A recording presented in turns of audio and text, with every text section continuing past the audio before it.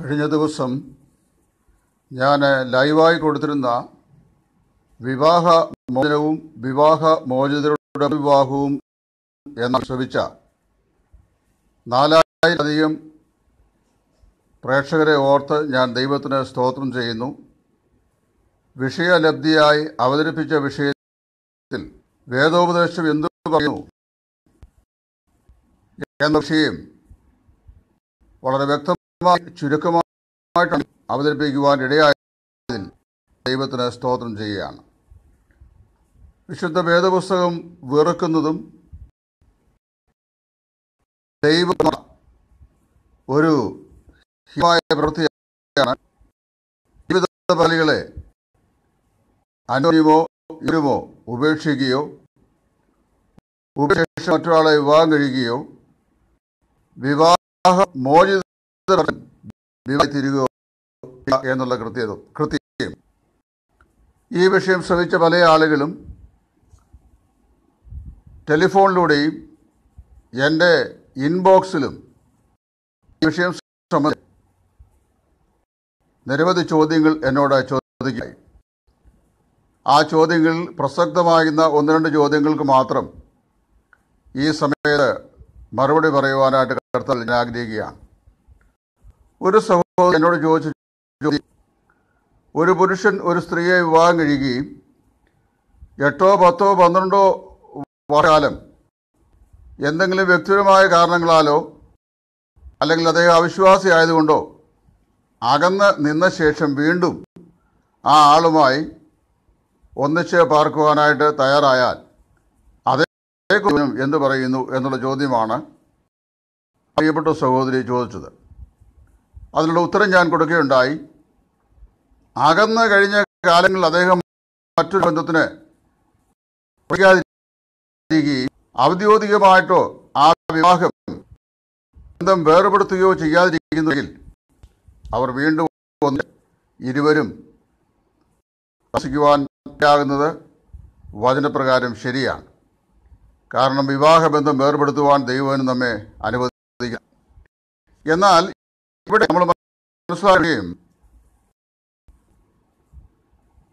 വളരെ പ്രധാനമായി മനസ്സിലാക്കേണ്ട ഒരു വിഷയം ഒരുവൻ ഈ കാലത്തിൽ വിവാഹത്തിനായാൽ മറ്റു വിവാഹത്തിന് തയ്യാറായാൽ ആ ബന്ധം അസ്ഥിരമായി പോകുന്നു അത് അഭിനമായി പോകുന്നു പിന്നീട് ആ നിലയിൽ ഒന്നിച്ച് അവർക്ക് പാർക്കുവാൻ കഴിയില്ല ഒരു ചോദ്യം ചിലർ ചോദിച്ചത് ഇതായിരുന്നു ഈ വിവാഹമോചന വിഷയത്തിൽ ഇന്നസെന്റ് പാർട്ടി എന്നൊരാളില്ലേ? ഒന്നുകിൽ ഭർത്താവ് അല്ലെങ്കിൽ ഭാര്യ.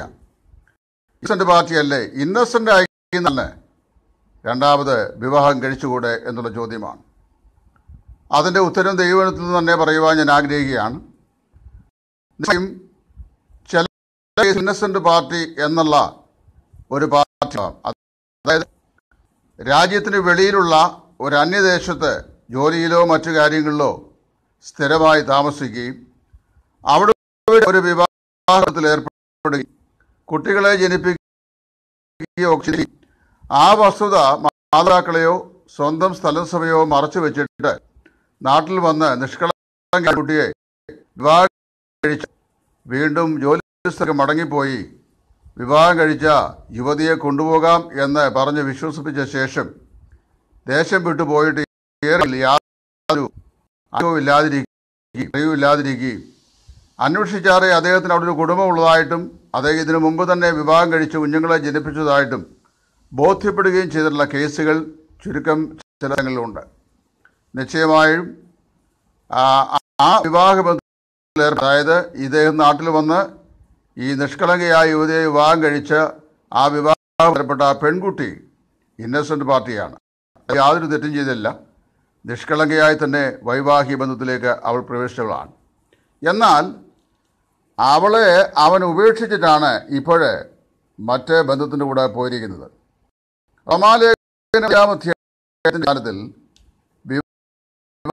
വിവാഹം ഒരു പ്രക്രിയ കൊണ്ടും ഒരു പുരുഷന് ഒരു സ്ത്രീ ഒരു സ്ത്രീക്ക് ഒരു ഭർത്താവ് എന്ന ക്രമം ദൈവം തമ്പുരാൻ തന്നെ വെച്ചതായി നിശ്ചയമായും നമുക്ക് മനസ്സിലാക്കുവാൻ കഴിയുന്ന ഒരു പ്രധാനപ്പെട്ട വിഷയം. ആ പെൺകുട്ടിയെ അവൾ കാരണമല്ലാത്ത വിഷയം കൊണ്ടാണ് ഇവൻ ഉപേക്ഷിച്ചത് അല്ലെങ്കിൽ ഇട്ടിട്ട് ദൈവം വിശദീകരിക്കപ്പെട്ട അവരുടെ വിവാഹബന്ധം പ്രകാരം നിലനിൽക്കുകയാണ്. അതിന് മാറ്റം വരുന്നില്ല. അതുകൊണ്ടാണ് ഭർത്താവ് ജീവിക്കുന്ന കാലമൊക്കെയും സ്ത്രീ ന്യായപ്രമാണാതിനും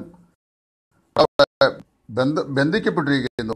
എന്നാൽ അവൻ മരിച്ചാൽ അവൾക്ക് മറ്റൊരു പുരുഷന് ഭാര്യയായ സ്ത്രീയ തീരാം അത് അവൾ തെറ്റിപ്പോകുന്നില്ല എന്ന് അവസരം പറഞ്ഞത്. അപ്പോൾ ഇന്നസെന്റ് പാർട്ടിയാണെന്നാൽ പോലും വിവാഹം ഒരിക്കൽ മാത്രമായി അരങ്ങേറുന്നതും ദൈവത്തിന്റെ വചനം അങ്ങനെ വ്യവസ്ഥ പറഞ്ഞിട്ടുള്ളത് കൊണ്ടും ആ പെൺകുട്ടിയെ രണ്ടാമത് വിവാഹം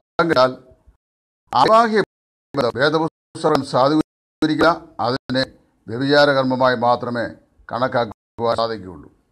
പ്രഥമത നമ്മളിത് കേൾക്കുമ്പോൾ അംഗീകരിക്കുവാനോ ഉൾക്കൊള്ളുവാനോ അല്പമല്ലാത്ത വിഷമം തോന്നുന്ന ഒരു വിഷയം. ദൈവത്തിന്റെ വചനം ഇങ്ങനെ എഴുതി വെച്ചിരിക്കുന്നത്തോളം കാലം ഇങ്ങനെയുള്ള ഒരു ഉത്തരമല്ലാതെ മറ്റ് അഡ്ജസ്റ്റ്മെന്റുകൾ കൂടി ഏതെങ്കിലും ആളുകളെ പരിപ്പെടുക എന്ന നിലയിൽ ഒരു മറുപടി പറയുവാൻ ഒരു ദൈവദാസ് എന്ന നിലയിൽ എനിക്ക് സാധിക്കുകയില്ല. ഇത് ഞാൻ പറയുമ്പോൾ തന്നെ എന്റെ വ്യക്തിപരമായ അറിവിൽ യാതൊരു കളങ്കവും തെറ്റും ചെയ്യാതെ ഉപേക്ഷിച്ചു പോയിട്ടുള്ള അല്ലെങ്കിൽ ഇന്നസെന്റായ പാർട്ടികളായി നിൽക്കുന്ന പെൺകുട്ടികളെയും ഇന്നസെന്റ് ആകുന്ന ആൺകുട്ടികളെയും പല കേസുകളും പക്ഷേ ദൈവവചനത്തെ മാനിക്കുകയും ഭയപ്പെടുകയും അതിനെ അനുസരിക്കുക എന്നുള്ളത് നമ്മുടെ ജീവിതത്തിന്റെ ഏറ്റവും അധാനമായ അത് ആ വിഷയത്തിൽ മനുഷ്യരെക്കാൾ മാനുഷിക പിണത്തേക്കാൾ അധികം മാനുഷികമായ ബന്ധത്തെക്കാൾ അധികം നാം ദൈവത്തെയും ദൈവത്തെയും ഏറ്റവും അനിവാര്യമായ ആവശ്യകത. അതുകൊണ്ട് വളരെ വ്യക്തമായി ദൈവവചനത്തിലൂടെ ഒരു കാര്യം പറയുകയാണ്. വൈവാഹിക ബന്ധം ഒന്നേ ഉള്ളൂ. ആ വൈവാഹിക ബന്ധത്തിന് ശേഷം ഉണ്ടായ ഏതൊരു യോജിച്ചു വരാൻ കഴിയാത്ത അവസ്ഥ സിക്കാൻ ദൈവമുഖാന്തര ഭാര്യ ഭർത്താന്മാർ വിധേയപ്പെട്ടിരിക്കുന്നു. അതായത് കടംപെട്ടിരിക്കുന്നു. അവർ പരസ്പരം വേർപിരിഞ്ഞാൽ പിന്നെ വിവാഹം ചെയ്യരുത് എന്നുള്ള പൗലൂസ് അപ്പോസ്റ്റലിന്റെ ആ ഉപദേശമല്ലാതെ മറ്റൊരു സംവിധാനം ഇതിനിടയ്ക്ക് പറയുവാനായിട്ട് ഒരു വേദവിദ്യാർത്ഥി നിലയിൽ നിർവാഹമില്ല. ലേബിയ പുസ്തകം പതിമൂന്നാം കുഷ്ഠരോഗി രോഗത്തെ തിരിച്ചറിയുവാൻ വേണ്ടി ആ കാലത്ത് നിയോഗിതനായിരുന്ന ഇസ്രായേലിന്റെ പുരോഹിതൻ കുഷ്ഠരോഗ ലക്ഷണം കണ്ടുപിടിക്കുന്നതും ആ കുഷ്ഠരോഗിയെ കുഷ്ഠരോഗിയാണ് എന്ന് വിധി കൽപ്പിക്കുന്നതും പുറത്തവനെ മാറ്റി പാർപ്പിക്കുന്നതുമായിട്ടുള്ള പ്രമാണ പുസ്തകം മൂന്നാം അധ്യായത്തിൽ രേഖപ്പെടുത്തിയിട്ടുണ്ട്. പതിനൊന്നാം അധ്യായത്തിൽ ഈ കുഷ്ഠരോഗിയുടെ ശുദ്ധീകരണത്തിന് പ്രമാ- പ്രമാണവും രേഖപ്പെടുത്തിയിട്ടുണ്ട്. പതിമൂന്നാം അധ്യായം പറയുമ്പോൾ ഒരുത്തന് കുഷ്ഠരോഗ ലക്ഷണമുണ്ട് എന്ന് പുരോഹിതന് അറിവ് കിട്ടുകയും പുരോഹിതൻ അവനെ പാളയത്തിൽ ചെന്ന് പരിശോധിക്കുകയും ചെയ്യുമ്പോൾ വളരെ വ്യക്തമായി ഒരു ദൈവാത്മാവ് അവിടെ രേഖപ്പെടുത്തിയിട്ടുണ്ട്. നീ അവന്റെ വടുവിന്മേൽ മാത്രമേ നോക്കാവൂ. മുഖ നോക്കരുത് എന്ന്. എന്തുകൊണ്ടാണ് അവന്റെ മുഖത്തു നോക്കരുത് എന്ന് ഒരു പ്രമാണം അല്ലെങ്കിൽ ഒരു ദൈവം ഇവിടെ കൊടുത്തത് എന്നുള്ളത്? ഒരു പക്ഷേ നിങ്ങൾ പല ആളുകളും ചിന്തിച്ചിട്ടുണ്ടാവില്ല. ഞാൻ അതിലാണ് മനസ്സിലാക്കുന്നത്. നോക്കി ഇവൻ കുഷ്ഠരോഗ ലക്ഷണമുള്ളവനാണെങ്കിലും ഒന്നെങ്കിൽ സഹോദരൻ അല്ലെങ്കിൽ സഹോദരി അല്ലെങ്കിൽ ഫസ്റ്റ് കസിൻ അല്ലെങ്കിൽ സെക്കൻഡ് കസിൻ തേർഡ് കസിൻ അളിയൻ ഒക്കെയുള്ള ബന്ധങ്ങൾ നമുക്ക് പരിഗണിക്കേണ്ടതായിട്ട് വരും. പക്ഷേ ഇവിടെ പുരോഹിതനോട് എങ്ങനെയാണ് യാതൊരു കാരണവശാലും അവരെ മുഖത്ത് നോക്കരുത്. യാതൊരു ചെയ്യരുത്. അവ വടുവിന്മേൽ നോക്കണം. കുഷ്ഠരോഗ ലക്ഷണം അവന്റെ രോഗങ്ങൾ കണ്ടാൽ അതിന്റെ ആരംഭം കണ്ടാൽ അവനെ അശുദ്ധനെന്ന് പ്രഖ്യാപിക്കണം. പാളയത്തിന് പുറത്താക്കി അവനെ ഏഴു ദിവസം അടച്ചിടണം.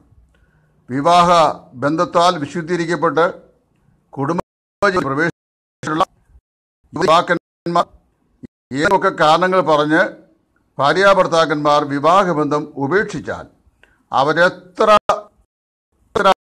ആണെങ്കിലും എത്ര വേർപെട്ട പാഠ്യം പറയുന്ന ആളുകൾ സമൂഹമത്തെ എത്രമാത്രം ജനസ്വാധീനതയുള്ള ആളുകളാണെങ്കിലും പറയുന്ന മുഖത്ത് നോക്കരുത് അവനോട് വ്യക്തിപരമായ യാതൊരു പരിഗണനയും ചെയ്യരുത് എന്നാണ്. ഞാനിവിടെ ഒരു കാര്യം ആവർത്തിക്കട്ടെ. വിവാഹബന്ധം ഉപേക്ഷിച്ച് മറ്റൊരു സ്ത്രീയോ പുരുഷനെയോ രണ്ടാമത് ആളുകൾ കർത്താവിന്റെ കൊള്ളുന്ന അശുദ്ധമായ പ്രവൃത്തിയാണ് അശുദ്ധമായ. അവരെ ആത്മീകമായിക്കുന്ന ബന്ധത്തിൽ വിശേഷാൽ ദൈവസഭയിൽ കൂട്ടുന്ന മാതാപിതാക്കന്മാർ ദൈവവും ദൈവത്തിന്റെ വചനത്തോടും മറുതലിച്ച് നിൽക്കുന്ന മത്സരികൾ വരണ്ട ദേശത്ത് പാർക്കും എന്നാണ് ദൈവത്തിന്റെ വചനം പറയുന്നത്. ദൈവത്തോടും ദൈവവചനത്തോടും മറുതലിക്കുന്നത് ഒരിക്കലും അത് ശാപത്തെ അങ്ങനെ ഒരിക്കലും നമുക്ക് ചെയ്യാനായിട്ട് സാധിക്കുകയില്ല. അതേസമയത്ത് തന്നെ ശിഥിലീകരണം സംഭവിച്ച ആളുകളോട് മാനുഷികമാകുന്ന സഹതാപവും ദുഃഖവും നമുക്കെല്ലാവർക്കും ഉണ്ട്. അത് ഒരിക്കലും അങ്ങനെ സംഭവിക്കാൻ പാടില്ലാത്ത കാര്യമാണ്. പക്ഷേ ഒരു പരിഗണന ദൈവവചനത്തെ അതിരിക്കുന്ന നിലയിൽ അവർക്ക് നൽകുവാനായിട്ട് ദൈവവചനം ഒരിക്കലും നമ്മെ അനുവദിക്കുന്നില്ല. വളരെ ഞാൻ ഓർപ്പിക്കുകയാണ്. ഈ വിഷയം ഞാൻ എനിക്ക് അങ്ങനെയുള്ള ഏതെങ്കിലും പാളിച്ചകൾ സംഭവിച്ച യാതൊരു സഹോദരന്മാരോടും വ്യക്തിപരമായ ഒരു വിരോധമോ പ്രയാസമോ ഇല്ല. പക്ഷേ ഞാൻ പക്ഷത്ത് അതായത് ദൈവവചനത്തിന്റെ പക്ഷത്ത് നിൽക്കുന്ന ഒരു എളിയ ദൈവദാസൻ എന്ന നിലയിൽ ഈ നിലയിൽ മാത്രമേ അതിനെ മനസ്സിലാക്കുവാനും അതേക്കുറിച്ച് സംസാരിക്കുവാനും ദൈവവചനം എന്നെ അധികാരപ്പെടുത്തുന്നുള്ളൂ. അതുകൊണ്ടാണ് ഞാൻ ഈ കാര്യം വളരെ വ്യക്തമായിട്ട് ഇപ്പോൾ പറയുന്നു അതുകൊണ്ട് ദൈവത്തോട് ഞാൻ ഓർപ്പിക്കുന്നു നമ്മൾ വിശ്വാസികൾ പറയുമ്പോൾ ലോകത്തിന്റെ മുമ്പാകെ സാക്ഷ്യമുള്ളവരായി ജീവിക്കേണ്ടവരാണ്. ഒരു വിശ്വാസി എന്ന് പറഞ്ഞാൽ അതായത് രക്ഷിക്കപ്പെട്ട സ്നാനപ്പെട്ട വേർപെട്ട വിശ്വാസം സ്വീകരിച്ച് അത് ബന്ധപ്പെട്ട വിശ്വാസ പ്രാദേശിക സഭയുമായി ഒരു കുടുംബത്തിൽ ഇങ്ങനെയുള്ള മ്ലേച്ഛതകളെ താലോലിക്കുകയും അതിനെ പ്രോത്സാഹിപ്പിക്കുകയും ചെയ്തു. യാതൊരു നിലയിലും തദ്ദേശവാസികളായ ഇതരോട് ഇതറിയാവുന്ന ആളുകളോട് സുവിശേഷം പറയുവാൻ നമുക്കൊരിക്കലും സാധിക്കുന്നില്ല നാം വിശ്വസിക്കുന്ന സത്യങ്ങൾക്ക് അനുസരണമായ നമ്മുടെ കുടുംബമെങ്കിൽ സാക്ഷി ജീവിതം. നാം പറയുന്ന സുവിശേഷത്തിന് നാല് കാശിന്റെ വില സമൂഹമധ്യേ ഉണ്ടാവുകയില്ല. അപ്പം ഈ കാലം വന്നു കഴിഞ്ഞപ്പോൾ ഒന്നധികം കുടുംബ ബന്ധങ്ങൾ സഭാംഗങ്ങളായ ദൈവത്തെ ആരാധിക്കുകയും ചെയ്യുന്ന പ്രാദേശിക സഭകളിൽ ദൈവ വിശുദ്ധിയോടുള്ള പ്രത്യേകത എന്നതിനേക്കാൾ കുടുംബബന്ധമാണ് ഇന്ന് മുന്തി നിൽക്കുന്നത്. അതുകൊണ്ട് പലപ്പോഴും വചനവിരുദ്ധമാകുന്ന അനീതിക്ക് കുടുംബങ്ങളാകുന്ന ആളുകൾ അത് തെറ്റാണ് എന്ന് പറയുന്ന അറിയുവാൻ ശ്രമിക്കുന്ന ദൈവദാസന്മാരുടെ കടുത്ത വ്യക്തിത്വവും വിരോധവും ഇവരെ ധ്വംസിക്കുവാനായി അതായത് അപമാനിക്കുവാനായി അസഹ്യപ്പെടുത്തുവാനായി അവരുടെ ശുശ്രൂഷയെ അലക്ഷ്യമായിട്ടൊക്കെ ചെയ്യുന്ന പ്രവണതകൾ പല സ്ഥലത്തും കണ്ടുവരുന്നുണ്ട്. ഒരു നിലയിലും അത് സപ്പോർട്ട് ചെയ്യാൻ സാധിക്കത്തില്ല. ഇത് മറ്റുള്ളവരുടെ കാര്യത്തിൽ മാത്രമല്ല നമ്മുടെ ഓരോരുത്തരുടെയും സ്വന്തം ജീവിതത്തിൽ നമ്മൾ പ്രത്യേക വിഷയമാണ്. മാതൃ എനിക്കുള്ള വിനീതമായിരുന്ന ഒരു അപേക്ഷ. നിങ്ങൾ യാതൊരു കാരണവശാലും നിങ്ങളുടെ മക്കൾ പരസ്പരം പൊരുത്തപ്പെട്ടു പോകാൻ കഴിയാത്തൊരു പ്രപ്പോസലുമായി നിങ്ങളുടെ ഇടയിൽ വന്നു കഴിഞ്ഞാൽ അവരായിരുന്നാലും വിവാഹമോചനത്തിനായി നിങ്ങൾ യാതൊരു മൗനാനുവാദവും അവർക്ക് കൊടുക്കുവാൻ പാടില്ലാത്തതാകുന്നു. വിവാഹിതരായോട് ഞാൻ ഓർപ്പിക്കട്ടെ.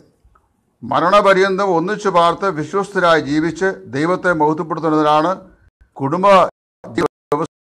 ദൈവം പിടിച്ച് കൂട്ടിക്കൊണ്ടു വന്നിരിക്കുന്നത് നിങ്ങൾ സാത്താതിനാൽ പ്രേരിപ്പിക്കപ്പെട്ടിട്ടോ നിങ്ങളുടെ സ്വയംകൃതമായ ചിന്താഗതികളോ ാദികളുടെ പ്രേരണകളാലോ മാതാപിതാക്കളുടെ നിർബന്ധത്താലോ മറ്റാരാലുമോ എറിയും. ഒരിക്കൽ പോലും ചെയ്യാൻ പാടില്ല. അങ്ങനെ ഏതെങ്കിലും ഒരു അബദ്ധം ആർക്കെങ്കിലും ജീവിതത്തിൽ സംഭവിച്ചിട്ടുണ്ടെങ്കിൽ മേലാൽ വചനപ്രകാരം അങ്ങനെ ഒരു വിവാഹ അവർ വിവാഹ ജീവിതത്തിലേക്ക് പ്രവേശിക്കാൻ പാടില്ല. അങ്ങനെ വിവാഹ ജീവിതത്തിലേക്ക് പ്രവേശിക്കുന്നവരെ സഭാബന്ധത്തിൽ കൂട്ടിക്കൊണ്ടു പോകാനും പാടില്ല.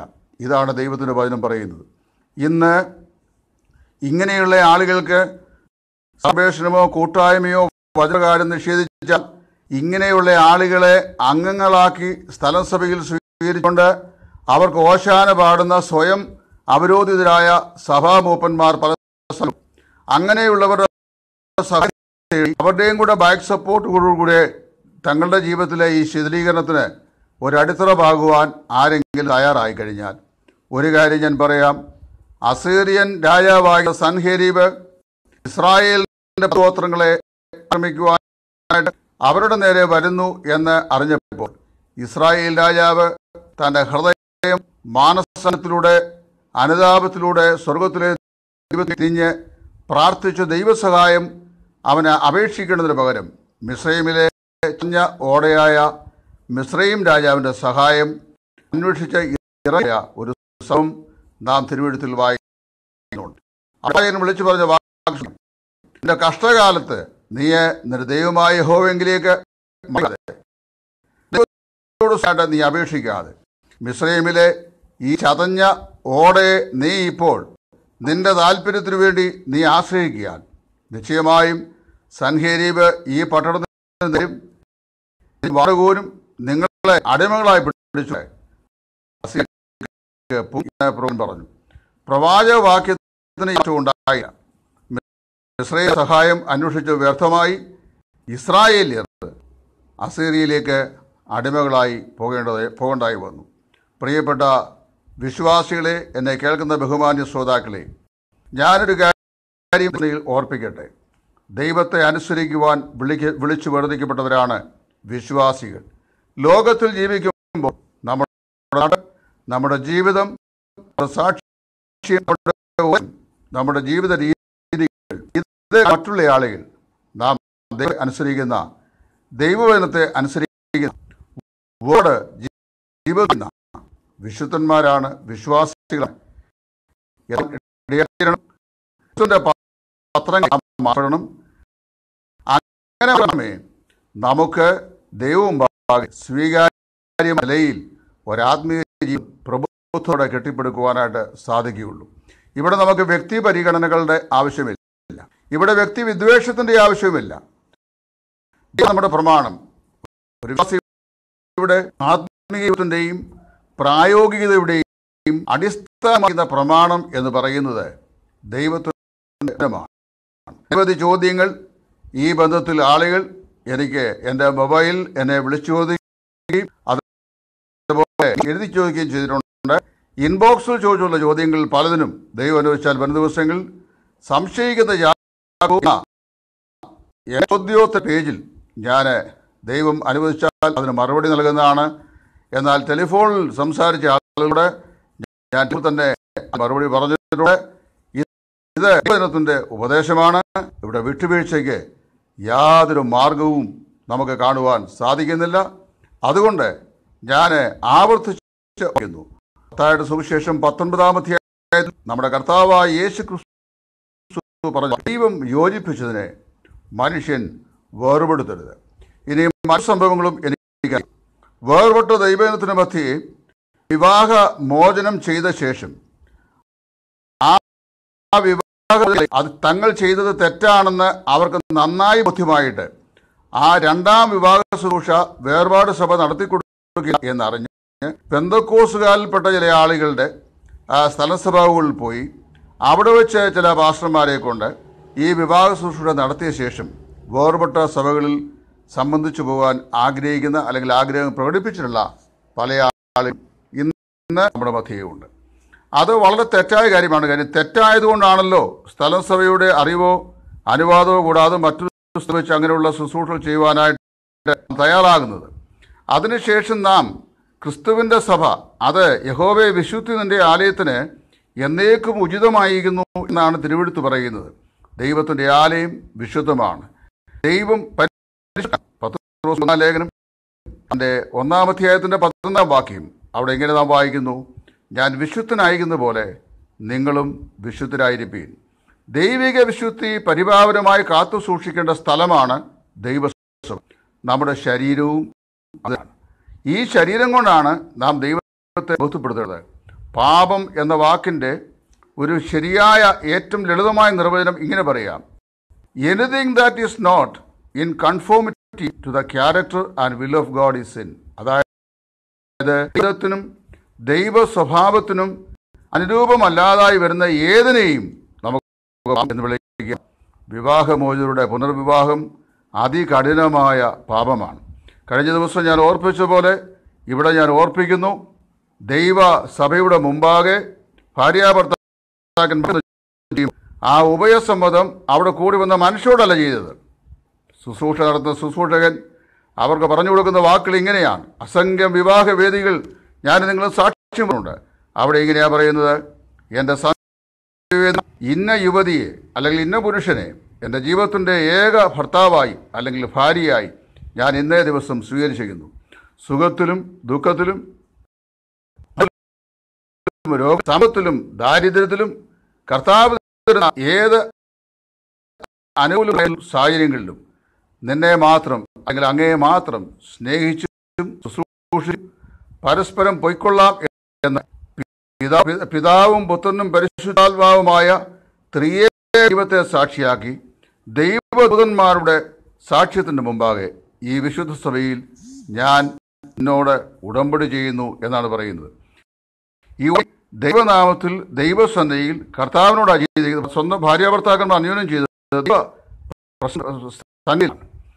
ദൈവ സാന്നിധ്യത്തിലാണ് ദൈവനാമത്തിലാണ്. വിവാഹബന്ധത്തിൽ ഉണ്ടാകുന്ന ഏത് ഇടർച്ചയും ഏത് ഉലച്ചിലും ദൈവത്തോട് ചില ഉഭയസംഭവത്തിന്റെ അല്ലെങ്കിൽ ഉടമ്പടിയുടെ നേരിട്ടുള്ള ലംഘനമാകിയാൽ അതിന് ശുപാർശ ചെയ്യുവാൻ ദൈവവചനത്തിൽ വാക്യങ്ങൾ ഇല്ല. ഈ കാര്യങ്ങൾ ദൈവവചനത്തിൽ പറഞ്ഞിരിക്കുന്ന ഞാനിവിടെ ലളിതമായി അവതരിപ്പിച്ചായി എന്റെ മാനിയ ശ്രോതാക്കൾ പ്രേക്ഷകർ ഈ കാര്യം ദൈവവചനാടിസ്ഥാനത്തിൽ ഞാൻ പറഞ്ഞതുപോലെ തന്നെ ശ്രമിച്ചിരിക്കുന്നു എന്ന് കർത്താവിൽ വിശ്വസിക്കുന്നു. ദൈവം നിന്ന കുടുംബജീവിതത്തെ എല്ലാ പരിപാടികളുടെ ഉത്തരത്തോടും കൂടെ മുറുകെ പിടിച്ചുകൊണ്ട് മാതൃകയുള്ള കുടുംബങ്ങളായി സാക്ഷ്യമുള്ള കുടുംബങ്ങളായി വരും ദിവസങ്ങളിൽ സുവിശേഷത്തിന് അനുയോജ്യമായി ജീവിക്കുവാൻ ദൈവത്തിന്റെ പരിശുദ്ധാത്മാവ് നമ്മെ ഏവരെയും സഹായിക്കട്ടെ എന്ന് പ്രാർത്ഥിച്ചുകൊണ്ട് ഈ വിഷയാസ്പദമായ വാക്കുകൾ ഞാനിവിടെ പര്യവസാനിപ്പിക്കുന്നു. ദൈവം നിങ്ങളെ അനുഗ്രഹിക്കട്ടെ. നിങ്ങൾക്ക് സംശയങ്ങൾ എന്നെ കോൺടാക്ട് ചെയ്യാവുന്നതാണ്.